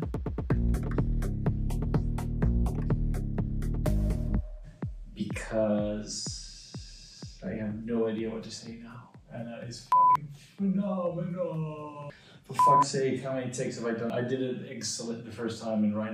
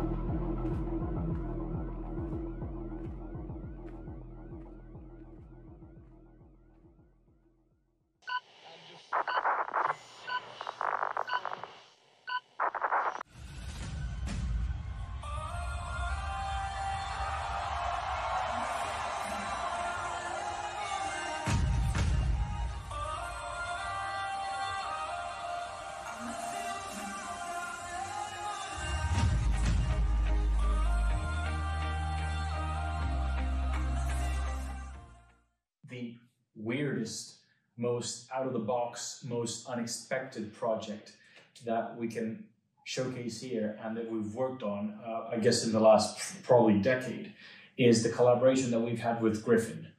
And Gryffin is an electronic music artist who's becoming an incredibly big deal in the US and internationally as well um, with all the music that he's creating and all the collaborations and everything. He's a guy who, who, who he doesn't personally sing, but he composes everything and collaborates with some of the best talent out there. So keep an eye on this guy. He's he's gonna wreck some some souls. I I never really thought it in any part of my career I would be um, creating the animated visuals, which would be on a huge screen behind a famous artist, playing at huge concerts and festivals. Um, th- this was, you know, when we actually saw it happening as well after we had completed it, this was something we couldn't just quite comprehend when we first saw it. So when the opportunity came knocking, when when a man called Jordan Miles Rosenheck sent an email asking to see if we wanted to collaborate, obviously we were not going to say no. So we jumped at the opportunity, and we've had one of the most um, artistically and creatively satisfactory relationships and experience working on this project, culminating in some of the best work we've ever done and some, some of the most challenging work we've ever done because we were forced to think outside the box in so many ways, do things that, while you know, technically may not have been the most uh, on, on some of them, some of them were really pushing the envelope, but on, on some of them, not the most technically demanding things, the challenge of taking all the assets, putting them into After Effects, and then coordinating everything to the lights, to the music, to the sounds. The choreography part was actually more challenging than I thought it would be. Um, you really have to kind of immerse yourself in the music at first and just kind of feel the the energy of it, and, and then just start experimenting with lights, putting them on and off, seeing what works, seeing what doesn't, getting into the flow of it, and and then something will click, and you'll be on your way. But it definitely, at first, I thought, oh, this is going to be super easy. You just jump into After Effects, you just start. You look at the beat, you look at the uh, you look at the waveform, and you're like, I'll put on the lights there every single beat. It's it's not so simple. It's, it's not as as easy as that. You really have to um, come up with something creative when you do it. Um, there are plugins which can do so much for you, but they'll never get down to that granular level, which is where we had to rely purely, on um, intuition.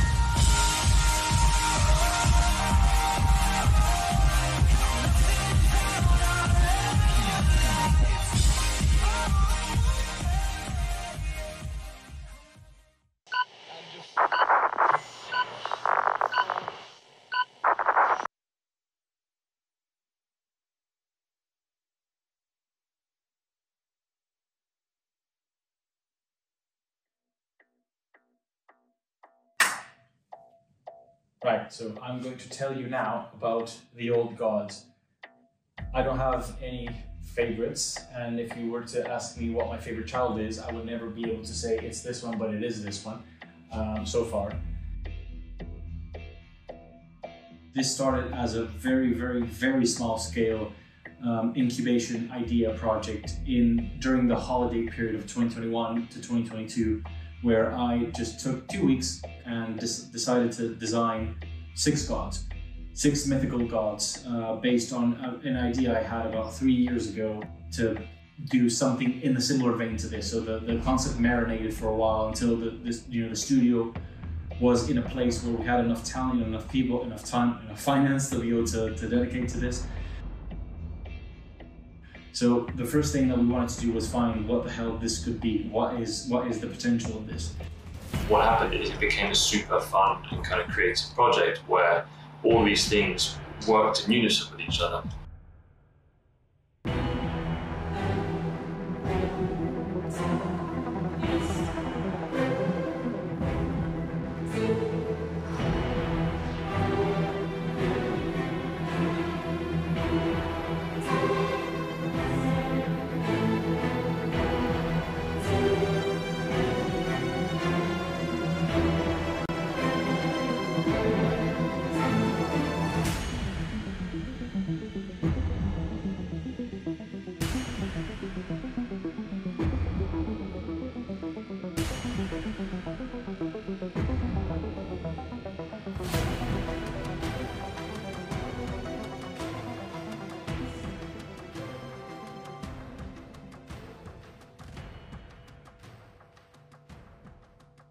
This is the project that led to everything else that we've discussed in this talk. So I'd like to finish this by letting you guys see the actual film that we ended up making for this. So hopefully you'll enjoy it. Thank you very much.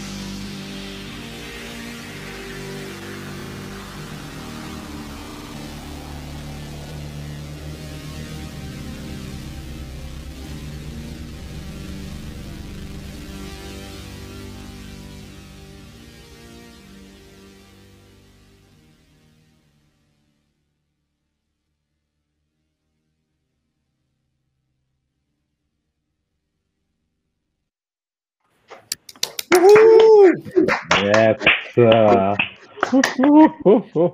Epic. I have no other word. zero. Ah, shucks. Yeah, amazing. Thanks. Great guys. I mean, so much. This is what I meant by unique and different and absolutely, yeah, out of the box. Um, how do you guys? I mean, obviously, you started.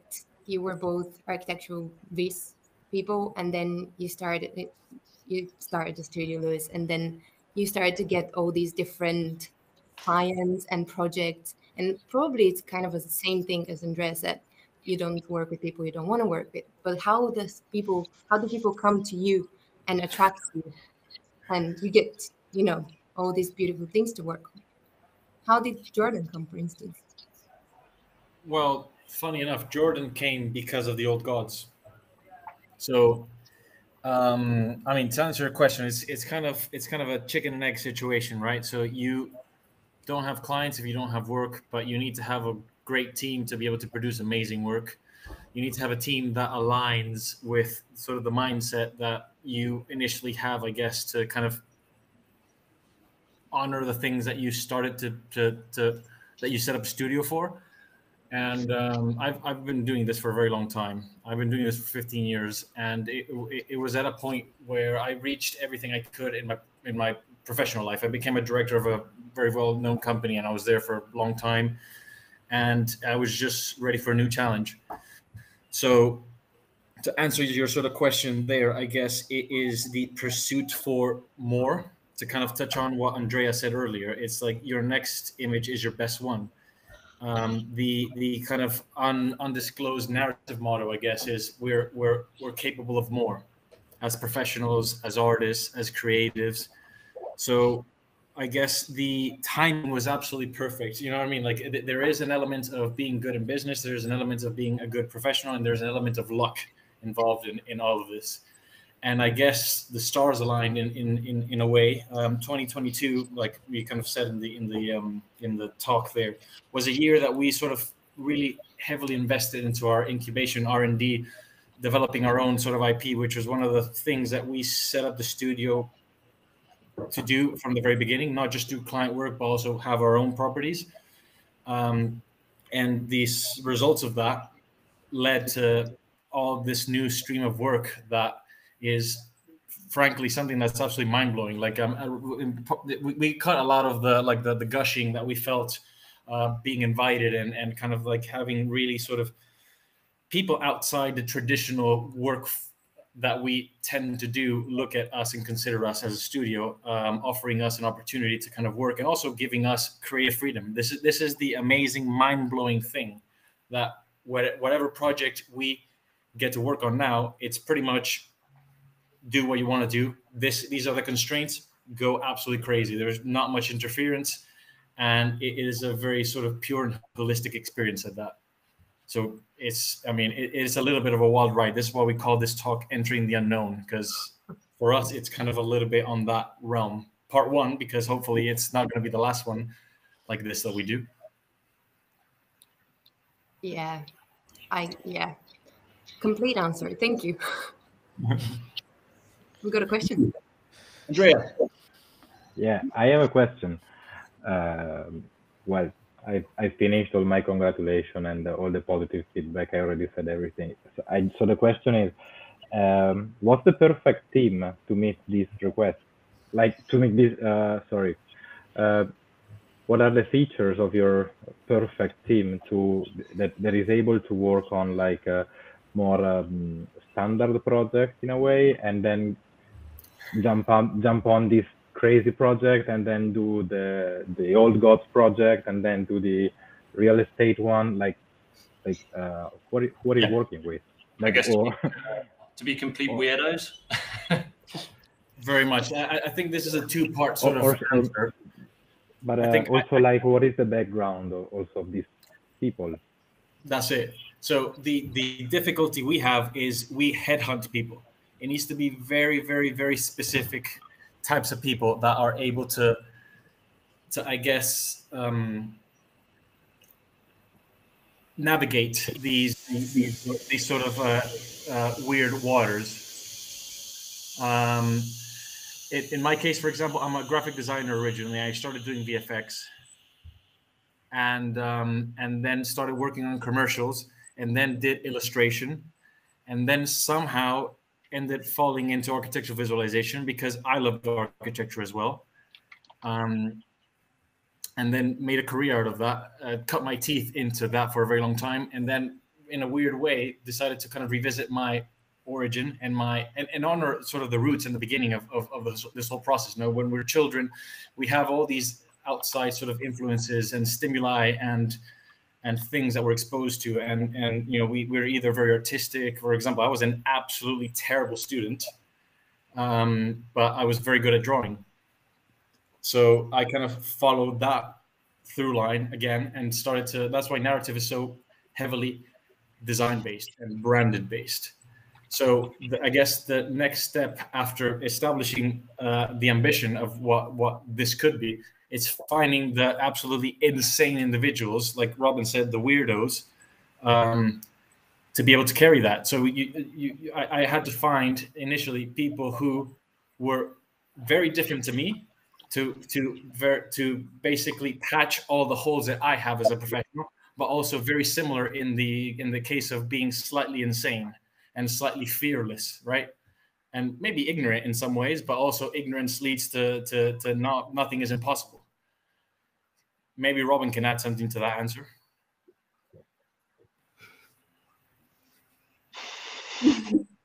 Maybe. Oh, I need to. Sorry, sorry. I.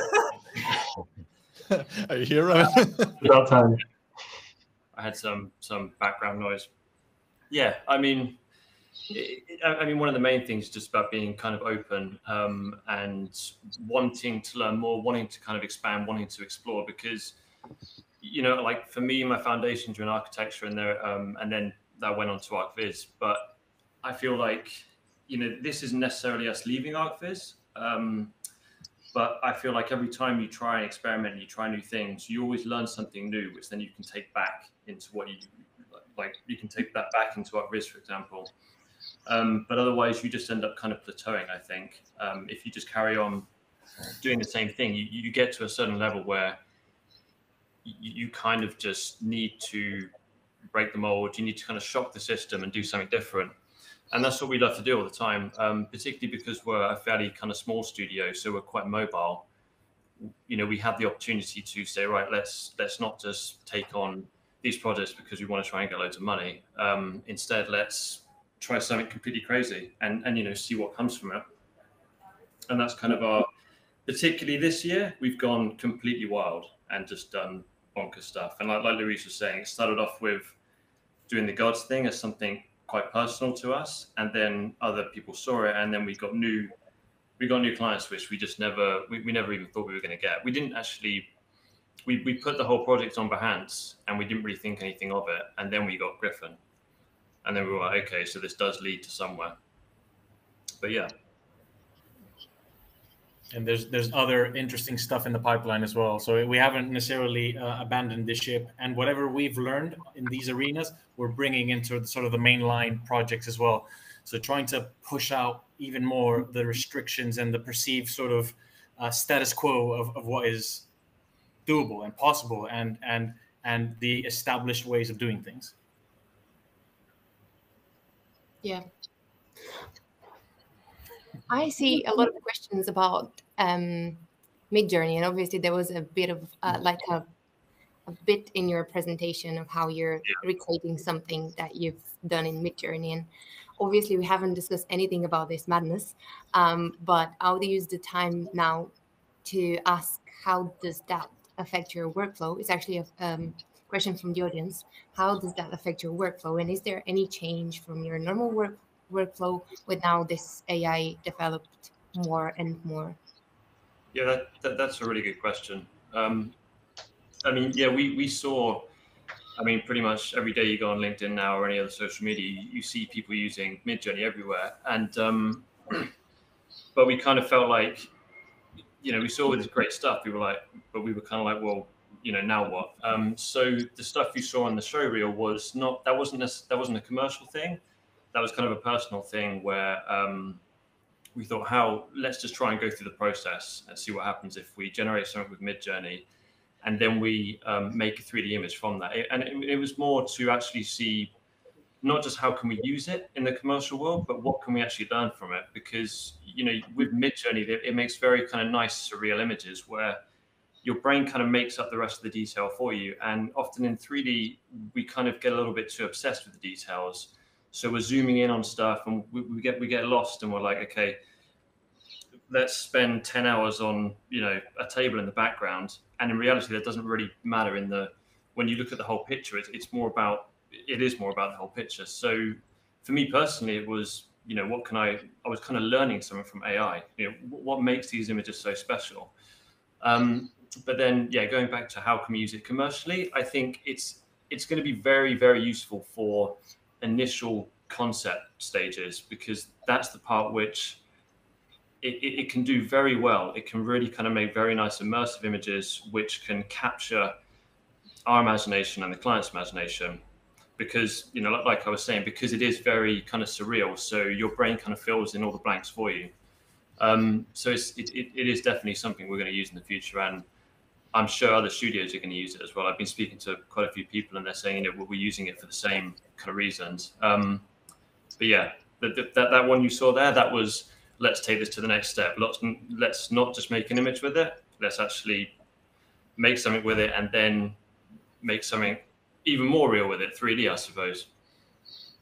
And, and what one of the amazing things about AI in general is that we've been using AI quite a bit in our actual day-to-day production work for a long time now from FaceApp to just you know using um, solvers and uh, and uh, image solvers, I guess, to, to kind of test how how low set quality setting we can render and then bring it back to also um, just doubling the size of a, of a film to kind of um, specifically enhance people uh, without having to kind of go back to the drawing board. People is a very, very, very, very broad topic of conversation, and so many people have so many passionate opinions about using people and images and things. It's like it has to be 2D or it has to be 3D. We find that it's some something slightly in the middle, right? You have the the capabilities to do both. Why don't you embrace a hybrid approach to how you deal with people? Use them as the best tool. Sometimes 2D is better Sometimes it's 3D and then you enhance with 2D manually, or sometimes you just use face FaceApp and then just absolutely fucking great, yeah, get, get, get, an amazing face. Like we, we, we use AI if it's going to save us time for sure. I mean, we'll do that. I'm not going to sit there for ages in Photoshop and and Photoshop a real person's face onto a 3D person's face. I'm going to use FaceApp. It's it takes two seconds. yeah, bending all the rules. I like that. Oh, absolutely. for sure. It's cool, yeah. I actually have a question for more of all of you guys. So not just uh, Robin and Luis, but also like the rest of you guys. Uh, and we haven't heard so much from John for a while, so I think we'll start with him. Um, so, in terms of times keep moving forward, we all get a little, we're all getting a little bit older. Uh, apparently, except for Ioanna for some reason. Um, but we, how do you, what do you do to keep up with the times in terms of um, software development and new techniques and new stuff coming around now? Midjourney was was the theme right before, but also just sometimes you know new version of this and that 3D program and new features and like there's so much going on all the time. So how do you keep up with with the demand basically?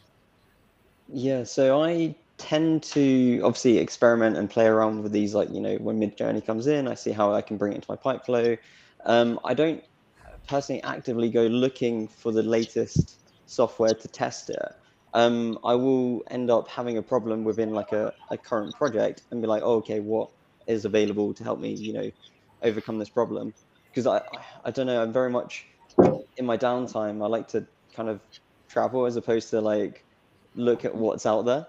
Um, and I'll wait until the issue comes around and then I'll try and attack it and see, you know, it's more, it's one of those things that you do your research when you need to do your research. Um, I, I, love the people who get like straight on the bandwagon. They're like, oh, something else, something new's out. I'm going to learn it. And maybe I'm just a little bit lazy. Um, but I, you know, I love seeing when people do like run with a brand new thing that's come out and they, they smash it. That's awesome. Then it inspires me to be like, oh, maybe I should go back into that software and, you know, play around again. Um, but yeah, it's always like per project sort of um, when I, when I have to dig deep.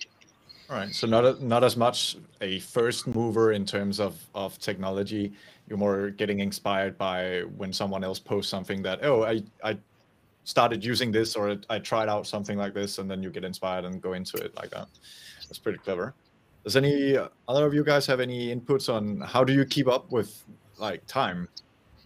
Because I I personally struggle with it a lot. Like you have an everyday job and you you keep working and working and working and then you get off and obviously you need to like relax. There's no time to you know i can't find always the energy to start to keep up with new technology and and everything all the time. So i'm wondering what are you doing. I think um for me personally um i guess when i was younger when you saw a new piece of software it was more this looks super exciting. I'm going to learn it, but you didn't really know why you were going to learn it. It just looked so cool. You know, maybe you saw um, you saw a show reel or something, and you were like, "This is this just looks super awesome." You don't even think anymore. You just go and learn it. But I think now it's more um, because I guess as you evolve as an artist, or for me personally, it was as I evolved. I guess I, I, I wanted to focus more on the artistic side. You kind of re- you get to a point where you realize that the, the, the tech is it's just a tool, obviously. Um, so for me now, when I see new stuff, I think it's more how is this going to help me? Is this going to kind of speed up my workflow? Is it going to, um, you know, cut my time? Um, and it's more focused on that rather than is this just kind of another cool thing to learn? I guess. Yeah.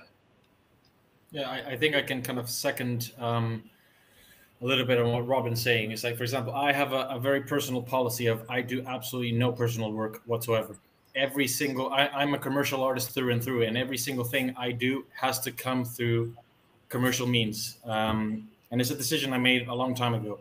But in my private time um, it's all about reinforcing fundamentals and working on my mind's eye and working on um, aside from getting better in uh, in, in day-to-day things um, like max and all these sort of things by by doing naturally. Also you need to be complete as a person right? So you need to grow as a person, you need to develop as a person, work on yourself physically, work on yourself mentally, read more, travel, like Johnny said. That's that's incredibly fundamental. That's how you find inspiration. And even though you the mechanical aspect of it, the fundamentals will always be 100% the same, unless we get to you know the the the um, I the the, the word uh, escapes me right now. The uh, fourth dimension.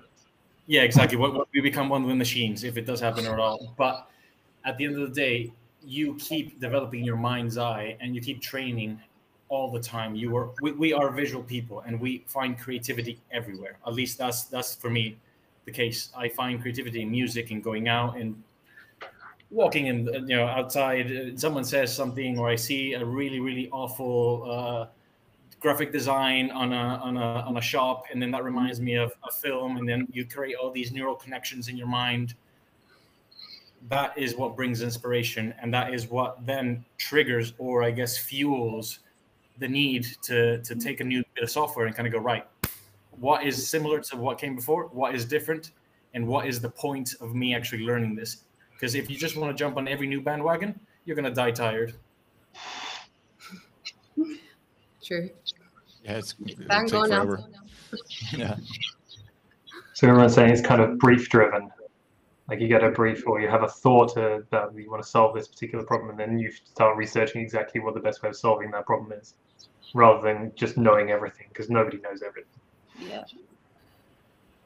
True. So you're more of a yeah a technical approach to to your to your problem basically, instead of just ex- explorative approach, I guess, which some might you know use a lot more. I have uh, a number of time vampires in my life that I need Yeah. that yeah Well, since require other responsibilities. You know, you I can't- you can't teach, just be on- so I kind of feel like I need to promote the idea of internships. Hmm? So actually having paid interns, and I cannot stress enough how much it should be paid interns. But getting paid interns into your companies might actually be a good way for you to get new knowledge into your company about new tech that you've never had the ability or time to to go into or anything like that.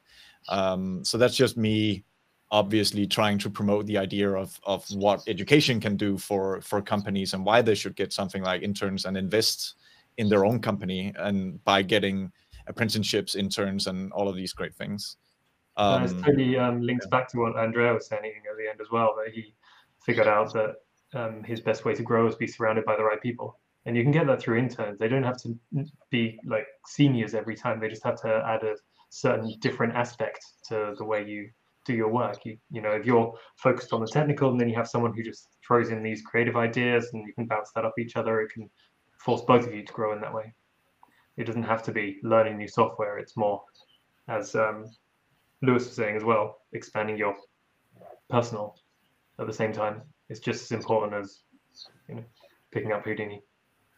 Yeah, and also learning from each other as well is quite important. For me, probably that's the thing. Like I communicate with a lot of people, and my source is always people. Um, but, you know, you bounce ideas, you get to know how did they make that, how what's new that they've used. So it's kind of very, very good, very amazing thing to have and be in a community to share ideas and you know keep the knowledge, bounce the knowledge, and pass the knowledge on, which is quite important. It goes back to Nicklas' point education as well. So yeah. Let's see if we have any, huh, cool. any questions from the audience. Um, we have a question from Narrativ of how large the team is, obviously, and uh, people want to have jobs to do. Well, we are four in London, one in Vancouver. Um, and yeah, absolutely. I mean, it, it, the, the, the, the thing that you need to kind of uh, know in advance is be a weirdo, have your own voice, and make sure you, you, you damn make it clear through an email rather than just sending something that is very generic and you know something that doesn't look like the work that we do. I guess is, is kind of the best way. Like we, we're all we are always on the lookout and we put a job advert a long time ago and yeah we, we've, we've been in conversations with fantastic people um, but it's very hard it's very hard to find people who fit in into the specific niche of creative that we need so always open to conversations for sure I'm sure people are very pleased to hear that. And if you're nearby, just pop into the office. Andrea wants to apply. Just come and see us. that's done don't worry about it don't send your portfolio it's, it's fine very good did you want? Did you have a question, or you actually? Are you waving, or did you have a question? it's a good question Uh, I was applying. just volunteering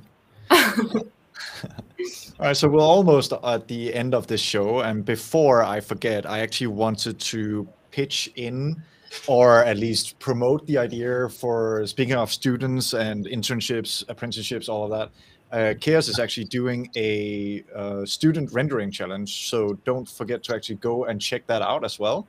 Um, there's a lot of uh, great people in the jury. Myself, for example, Nikos Nikolopoulos, Sonia Christoph, a lot of uh, people you've probably seen from also last year's show. Um, so be sure to check that out if you're a student and you want to get the chance to win some great prizes. Yeah, the deadline is November 23rd, as you can see on the main screen right now. So it's great. Yay! Remember to do that. Sweet. And I think it's time to, because there was some games throughout the show one, and there were some winners as well. So maybe it's time to announce some of the winners. Let's see. Who do we have? So for social media giveaway winner, we have Todor Lichev, who posted in for a, fa- Facebook event, in a Facebook event. So congratulations to Todor. Um, and as I can see, we have another winner for the raffle, who is, I'm sorry if I don't pronounce the name correct, uh, Gan Gi from Vietnam. So congratulations from Gan. Um, these are the winners. So I just wanted to make sure we mentioned them because who everyone loves to win. So yeah, well done, guys. Yeah, congratulations. yeah, we have two minutes until the end of this major. How does everyone feel? Yeah, good.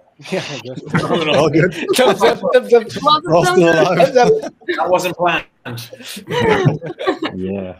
It's a mutual feeling. That's good. Oh, Not yeah. good, inspired. Really Yes. beautiful work, really inspiring people, really iconic and memorable work for sure. Yeah. Yeah. I actually want to ask is is there any specific region any of you guys are looking more more forward to uh, in the 24 hours uh, to come? Like, are there any countries or regions that you Yeah. want to uh, to check out? I'm uh, all in for the Aussies for Australia, and Nice. uh, also for the next one for the Brazilian guys that uh, will coming next because they will Yeah. have amazing guys from character animation, a lot of things coming up. But uh, as an ArchViz guy, I'm watching a lot of people in Singapore, Asia, and uh, also in Australia. So I'm really looking forward. Hopefully, I can be awake because those guys are so far ahead from Portugal. But uh, yeah, let's see how, how it really goes. But uh, if we are not able to watch it live, we can also watch the recorded sessions that will be available later uh, this uh, this year. Yeah. Right. Well, I think we're off time, so maybe let's wait for show number two. And well done, guys. You're all amazing. Thank you so Yeah, much man. for being with Thank us. you. We have a great show. Bye. Thank you. Bye. Thank you. Bye Bye. Bye bye. Thank you.